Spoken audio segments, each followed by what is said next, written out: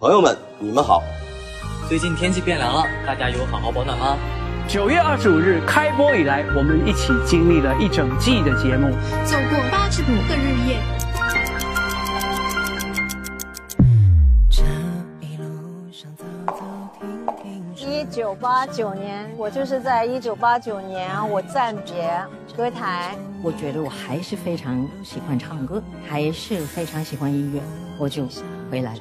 听您说您想要找一个创作型的歌手，然后正好我自己平常也会写歌，我觉得很感动啊。